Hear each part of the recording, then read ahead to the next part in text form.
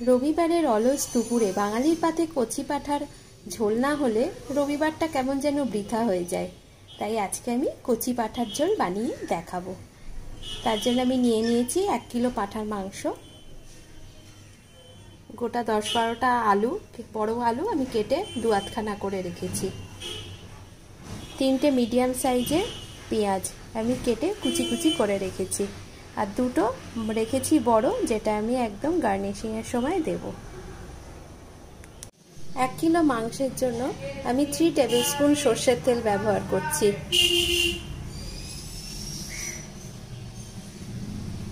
এবার তেলটাকে আমি গরম হতে দেব। যখন বাষ্প উঠবে, তখন আমি এতে গোটা গরম মশলা দিয়ে দেব। গোটা গরম মশলার মধ্যে আমি দিয়ে দিচ্ছি দুটো তেজপাতা, দুটো দারচিনি আধ ইঞ্চি করে। দশটা লবঙ্গ আর তিনটে ছোট ছোট ছোট এলাচ। এবার এটাকে আমি সতে হতে দেব বা কিছুক্ষণ ফোড়নের জন্য ফুটতে দেব। ওটা গরম মশলা ভালোভাবে ফুটে উঠলে আমি পেঁয়াজটা ছেড়ে দিলাম।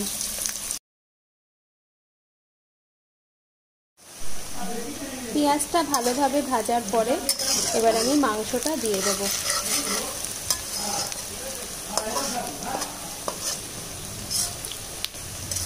খুব সহজ পদ্ধতিতে আমি মাংসটা রান্না করতে করে দেখাচ্ছি। এবার আমি মাংসটা দিয়ে দিলাম। মাংসটা আমি আগেই কেটে কুটে ধুয়ে রেখেছি এবং এখানে একটা তেল ভাব আনার জন্য আস্তে একটা চর্বি চেয়ে নিয়েছিলাম। খুব সহজ পদ্ধতিতে আমি মাংসটা করে দেখাচ্ছি, যাতে যারা নতুন না রাঁধুনি, তাদের একটু সুবিধা হয়। সবসময় শক্ত শক্ত রান্না দেখালে অনেকে হয়তো করতে পারবেন না বা করার ইচ্ছাটা হয় না। যাতে খুব সহজ পদ্ধতিতে বাড়িতে বানিয়ে খাওয়া যায়। অতি সুস্বাদু কচি পাঠার মাংসের ঝোল ও গরম ভাত, সেই জন্য আমি রান্নাটা করে দেখাচ্ছি। মাংসটা আমি স্লো আছে অন্তত পাঁচ থেকে সাত মিনিট ঢাকা দিয়ে রান্না করব। ও মাঝে মাঝে নাড়িয়ে দেব তলাটা, যাতে এখান না লেগে যায়। এরমভাবে এই তলাটা নাড়িয়ে নাড়িয়ে দেখে নেব। নাহলে মাংস পুড়ে যাওয়ার সম্ভাবনা আছে। প্রথম প্রথম আমারও পুড়ে যেত এখন ঠিক হয়ে গেছে। সাত মিনিট বাদে ঢাকাটা খুলে নিলাম। মাংসটা তলায় লাগেনি, তাহলে খুব সফট ভাবেই নাড়াচাড়া করতে পারছি। দেখুন, প্রচুর পরিমাণে মাংস থেকে জল ছেড়েছে। মাংসটা খুব ভালোভাবে ভাজা ভাজা হয়ে এসছে। স্লো আছে, আমি আবারও তিন থেকে চার মিনিট ঢাকা দিয়ে আর এক পিঠ হতে দেবো।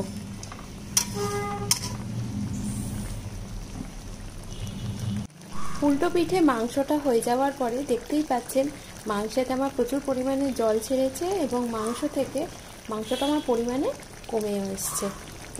এই সময় দুটো পিঠ ভালোভাবে ভাজা হয়ে যাওয়ার পর ওই পিঠে সাত মিনিট, এই পিঠে সাত থেকে আট মিনিট দেওয়ার পরে আমি দিয়ে দিলাম এক চামচ আদা, ছোট চামচে এক চামচ আদা, এক চামচ, দু চামচ তিন চামচ। তিন চামচ রসুন পেস্ট এবার আমি এটাকে ভালোভাবে নাড়িয়ে নেব। আপনারা অনেকেই হয়তো আপনাদের টেস্ট অনুযায়ী কেউ আদা বেশি খান, কেউ রসুন বেশি খান, কিন্তু একবার আমার এই পরিমাণ অনুযায়ী আদার মাংস বানিয়ে দেখবেন, খুবই ভালো লাগবে আশা করি।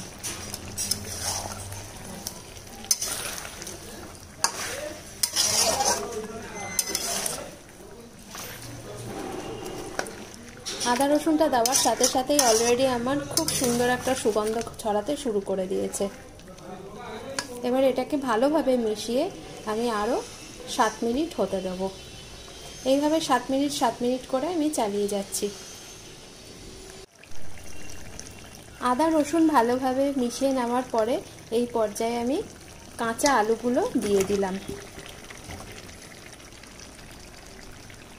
এবারে আমি ভালোভাবে নাড়িয়ে চাড়িয়ে মিশিয়ে নেব। এখানে আমি চন্দ্রমুখী আলু ব্যবহার করেছি। আলু ভালোভাবে মিশিয়ে নেওয়ার পরে এই পর্যায়ে আমি দিলাম নুন, পরিমাণ মতন নুন দিলাম। নুনটা আপনি আপনাদের স্বাদের অনুযায়ী দেবেন, কেউ কম খান, কেউ বেশি খান, সেই পরিমাণ অনুযায়ী নুন দিয়ে দেবেন। এবার আমি দিয়ে দিলাম হলুদ এখানে আমি থ্রি কোয়ার্টার হলুদ ব্যবহার করেছি। তারপর আমি দিয়ে দিলাম কাশ্মীরি লঙ্কার গুঁড়ো। এখানে আমি থ্রি কোয়ার্টার কাশ্মীরি লঙ্কার গুঁড়ো ব্যবহার করেছি। কাশ্মীরি লঙ্কার গুঁড়ো দিলাম এই কারণে বাড়িতে বাচ্চা থাকলে কাশ্মীরি লঙ্কার গুঁড়োটা বেশি ঝাল হবে না। আর আপনারা যদি কেউ ঝাল পছন্দ করেন, তাহলে সেই ক্ষেত্রে যে কোনো লঙ্কার গুঁড়ো দিয়ে রান্না করতে পারেন। কাশ্মীরি না দিলেও চলবে। এবারে আমার ভালোভাবে কষিয়ে নেওয়ার পালা। মানে একেবারে কড়াই ও খুন্তি নিয়ে ওলট পালট ওলট পালট করে বেশ তিন থেকে চার মিনিট অথবা খুব বেশি হলেও পাঁচ মিনিট এটাকে ভালোভাবে কষিয়ে নেব।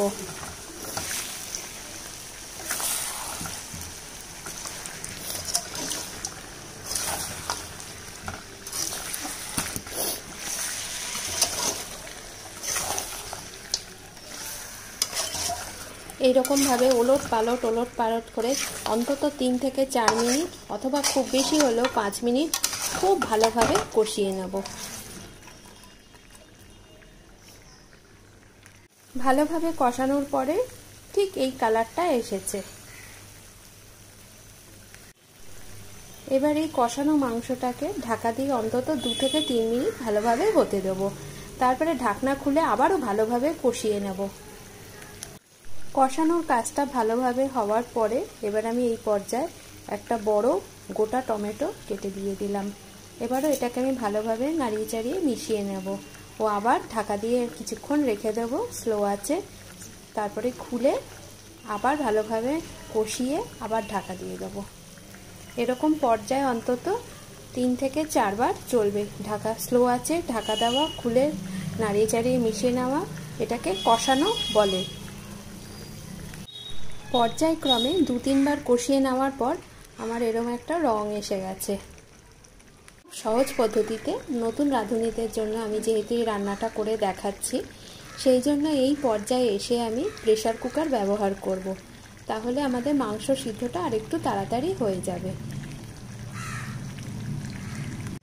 রান্না কষিয়ে নেওয়ার পরে এবারে আমি ফুটন্ত গরম জল ব্যবহার করব। একটা প্রেশার কুকারে আমি সাড়ে সাতশো এমএল জল গরম করতে বসিয়ে দিয়েছি। জলটা যখন ফুটে উঠবে, এবারে আমি মাংসগুলোকে আস্তে আস্তে এর মধ্যে ঢেলে দেব। সবার প্রথমে আমি দেব আলুগুলোকে।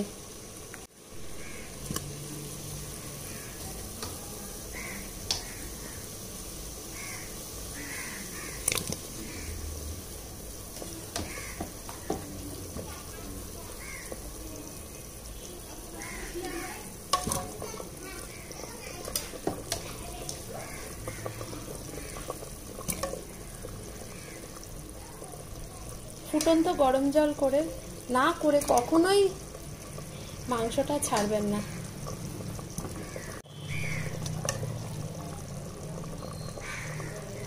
মাংসের ওপরে কখনোই গরম জল ঢেলে দেবেন না।